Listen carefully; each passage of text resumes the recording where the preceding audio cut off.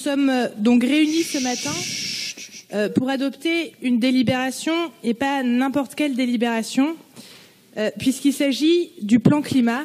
Et nous le voyons, malheureusement, malgré différents discours sur la nécessité absolue d'agir en faveur de l'atténuation et de la diminution de nos émissions de gaz à effet de serre, l'année 2018, nos émissions, nous avons craché plus 2,8 de CO2 supplémentaires dans notre atmosphère. Nous sommes au moment de la COP 24 qui est pas on a beaucoup brandi la COP 21 comme un moment de l'aboutissement euh, et euh, d'un accord international, mais on le savait, les engagements des États nationaux n'étaient déjà pas suffisants et la COP 24 normalement doit les concrétiser. Cela dit, tout espoir est encore permis. On le voit bien, les mouvements citoyens s'emparent de plus en plus de ces questions-là.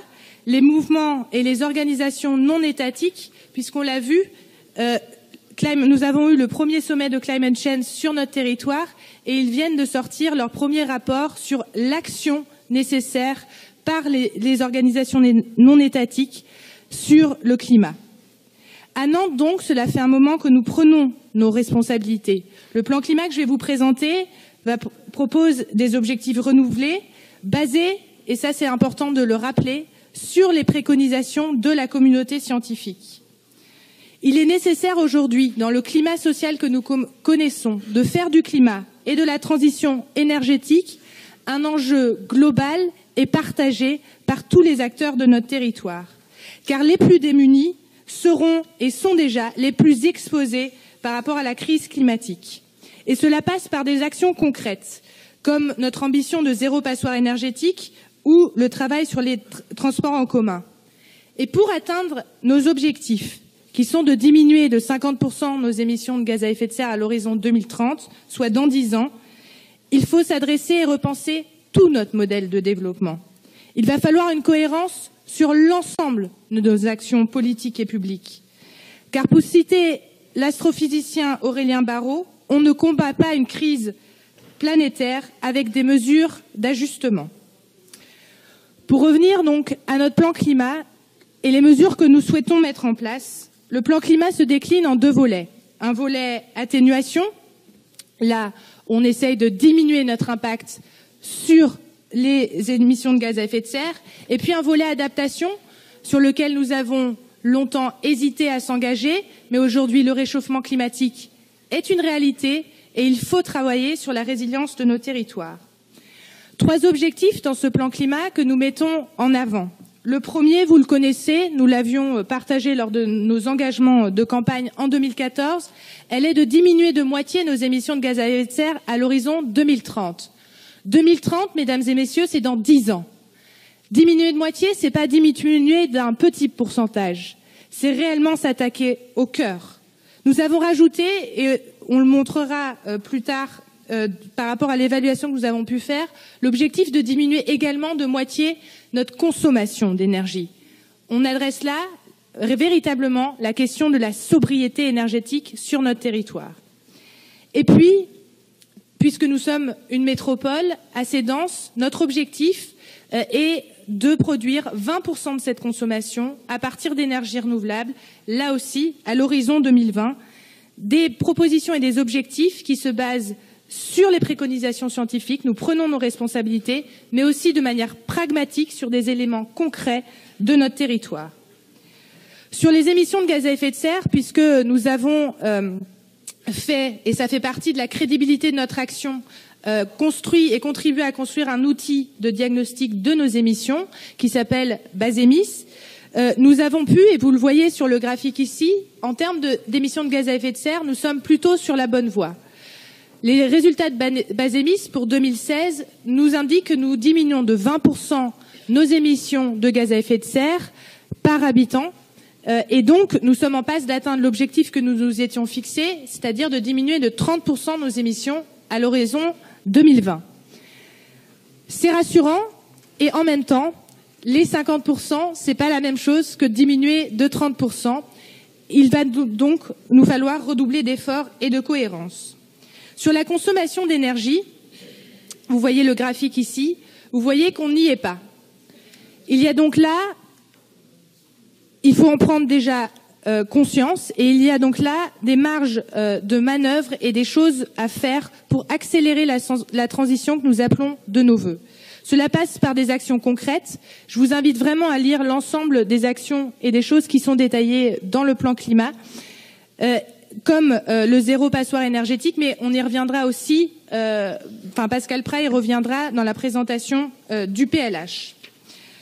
Ensuite, sur la qualité, euh, sur les productions d'énergie renouvelable. Vous le voyez, en 2017, les énergies renouvelables et de récupération représentent un total de 12,4% des consommations énergétiques d'un certain nombre de secteurs. Et donc, on est en forte augmentation, mais il va falloir là aussi appuyer sur l'accélérateur. Ensuite, euh, nous avons fait euh, une évaluation environnementale de l'ensemble de notre plan climat. vous voyez que la moitié euh, des actions qui sont contenues euh, sur le volet atténuation euh, ont un, un, impact significatif sur la baisse de nos émissions. Une autre moitié n'en a pas. Pourquoi? Puisque nous l'avons toujours revendiqué, pourquoi les collectivités territoriales sont des acteurs majeurs dans la lutte contre le réchauffement climatique? Parce que d'une part, nous avons des leviers directs pour agir, mais de l'autre, nous sommes l'échelon le plus proche de tous les acteurs pour engager cette dynamique et une action globale et partagée, puisque s'il ne doit plus y avoir d'investissement public dans les énergies carbonées, il en va de même des investissements privés. Sur euh, la qualité de l'air, ensuite, puisque ce plan s'appelle, cela ne vous aura pas échappé, un plan climat air énergie territoriale, là aussi, nous avons fait un diagnostic qui euh, nous amène euh, à ces résultats que vous voyez ici, c'est-à-dire globalement une amélioration de la qualité de l'air entre 2003 et 2016. Ceci dit, la qualité de l'air reste une préoccupation majeure. Nous avons engagé un certain nombre d'actions concrètes que vous retrouvez euh, dans le plan et également mesuré sur les propositions qui sont faites, notamment sur le PDU qui vient d'être présenté, l'impact que ça a sur l'amélioration de la qualité de l'air qui est euh, une priorité. Nous avons également, dans cette continuité-là, euh, mesurer la qualité de l'air à un certain nombre d'endroits de la métropole et travailler sur une OAP air énergie climat qui vous sera plus euh, largement présentée à l'occasion de l'adoption du plan local d'urbanisme métropolitain où la qualité de l'air est également prise en compte dans notre manière de construire et d'aménager la ville.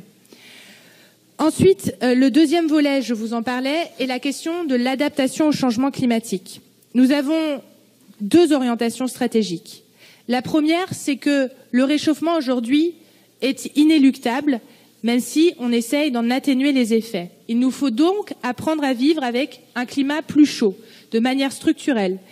Pour parler de manière très concrète, quand sur le développement économique, nous avons un territoire où il y a beaucoup d'agriculteurs et de viticulteurs, cela va amener à changer leurs pratiques, leurs récoltes. Les viticulteurs du territoire travaillent d'ailleurs déjà sur d'autres cépages sur le territoire. Et puis, bien sûr, il va falloir se préparer à de nouveaux types d'événements climatiques. C'est pour ça que nous avons fait une étude de vulnérabilité de notre territoire. Cela aussi euh, impacte, euh, c'est des choses euh, très pragmatiques sur lesquelles il nous faut avancer. Là aussi, nous avons, on est sur un plan guide, c'est-à-dire qu'il va pouvoir évoluer, qu'il faut le construire également avec tous les acteurs du territoire. J'ai tendance à dire qu'on a souvent un peu oublié la culture du risque sur le territoire et aujourd'hui, il va falloir retravailler. Je pense que c'est un vaste chantier et un grand champ qui s'ouvre devant nous avec l'adoption de ce plan climat, euh, puisqu'il va réellement falloir travailler sur la résilience du territoire. Pour vous citer, par rapport aux crises, notamment inondations, on pense plus spontanément, le fait qu'on intègre des choses comme sortir du tout tuyau, euh, absorber de l'eau à la parcelle, mais également le travail qu'on a pu engager, par exemple, avec Enedis, qui, sur les postes sources qui fournissent l'électricité sur notre territoire, les mettent hors d'eau pour euh, permettre de continuer à fournir ce service, même si, même en cas euh, d'inondation. Voilà, Madame la Présidente, un plan conséquent, important et structurant dont il faudra tirer les conséquences et faire en sorte que toutes nos actions soient cohérentes avec le plan que nous allons adopter.